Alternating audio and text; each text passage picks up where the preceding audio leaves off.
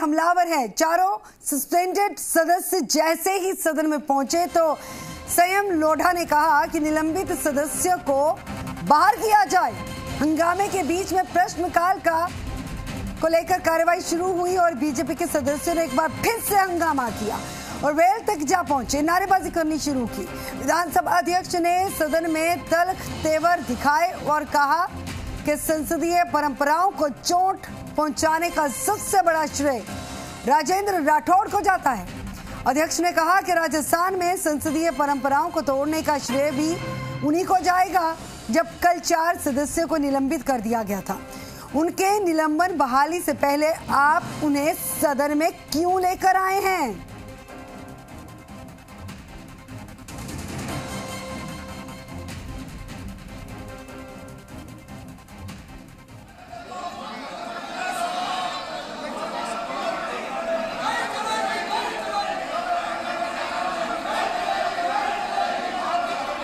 है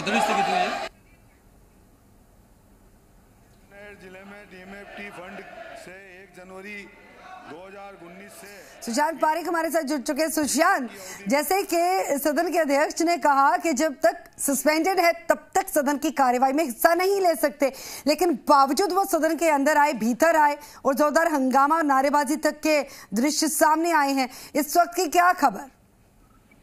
देखिए, प्रश्नकाल की कार्रवाई अभी भी चल रही है और अभी भी हंगामा जारी है। लगातार भाजपा के सदस्य जो हैं वो नारेबाजी कर रहे हैं रीट के मुद्दे को लेकर और बड़ी बात यह है कि कल जिन चार सदस्यों को निलंबित किया गया था वो आज सदन के भीतर आ गए और आते ही जो है हंगामा शुरू हुआ। जैसे ही प्रश्नकाल की कार्रवाई शुरू हुई भाजपा के जो वरिष्ठ नेता हैं, उनकी लीडरशिप में गुलाब चंद कटारिया, राजेंद्र राठौड़, इन्होंने वेल में आकर नारेबाजी की और उसके बावजूद सीपी जोशी ने एक अनूठी पहल की आज।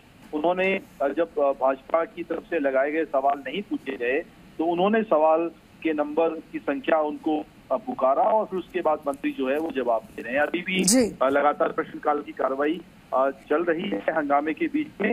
लेकिन आज एक नसीहत देने की कोशिश भी की है सीपी जोशी ने भाजपा के उपनेता राजेंद्र राठौड़ को जिनके बारे में उन्होंने कहा है कि ये पार्लियामेंट्री अपने आप को बताते हैं कि सदन की गरिमा को बरकरार रखने वाले नेता हैं लेकिन चार निलंबित सदस्यों को अंदर आखिर ये क्यों लेकर आए और उसके बाद लगातार हंगामा कर रहे हैं? अगर चारों सदस्यों को निलंबित किया जा चुका है तो सदन के भीतर ही उस पर मंथन होता कि उनकी बहाली कैसे हो बहाली के बाद ही उनको भीतर लाया जाना चाहिए। ये जो है सदन की परंपराओं और उसकी गरिमा के अनुरूप नहीं है। लेकिन रीट का जो मुद्दा जिसकी तपिश हम कल देख रहे थे सदन के भीतर, आज भी उसी मुद्दे को लेकर लगातार हंगामा जारी है। और रीट को लेकर नारेबाजी सीबीआई जाँच की मांग को लेकर भाजपा के नेता लगातार कर रहे हैं। बिल्कुल। और बीजेपी की तरफ़ से लगातार रीट मामले में सीबीआई जाँच की जो मांग की जा रही है, जैसे हंगामा जोरदार किया गया ऐसे में सवाल भी उठाए गए कांग्रेसी विधायकों की तरफ़ से कि ये नाजायज किया गया है, ये बेवजह विरोध करने के लिए विरोध किया जा रहा है बीजेपी की तरफ़ से।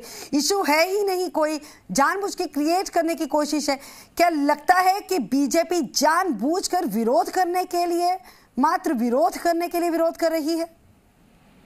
देखिए सर गगन ये सदन के भीतर जब किसी भी मुद्दे पे जब इस तरह का हंगामा होता है तो एक रणनीतिक सोच के साथ होता है और, और रीट एक बड़ा मसला है इसमें कोई दो राय नहीं है। लेकिन सरकार ने चूँकि लेवल टू की परीक्षा निरस्त कर दी और उसके बाद भी अगर इस तरह का हंगामा हो रहा है तो कहीं ना कहीं कार्यवाही जो है सदन की वो बाधित हो रही है। कल भी हमने देखा कि हंगामा हुआ चार सदस्यों को निलंबित करने का प्रस्ताव आया एक्शन हुआ उसके बाद सदन में भाजपा के नेता धरने पर बैठ गए, स्पीकर सीपी जोशी के समझाने पर वो माने। लेकिन इससे क्या है कि प्रश्नकाल जैसे महत्वपूर्ण अभी सत्र को लेकर कार्यवाही बाधित हो रही है। अच्छी बात ये कि इस कार्यवाही को सुचारू बनाने में स्पीकर सीपी जोशी का बड़ा रोल और सवाल जितने भी लगे थे, उन सभी के जवाब जो है उन्होंने मंत्रियों से दिलवाए हैं। तो बिल्कुल विपक्ष की तरफ़ से उठाया गया मुद्दा जो है वो वाजिब ज़रूर हो सकता है जज्बा ठीक हो सकता है लेकिन तरीका बिल्कुल गलत है ऐसे सवाल हैं। फ़िलहाल विधानसभा की कार्यवाही के एक बार फिर से रुक करते सुझाता आऊँगी आपके पास। अधिकार है और सदन में इस तरह से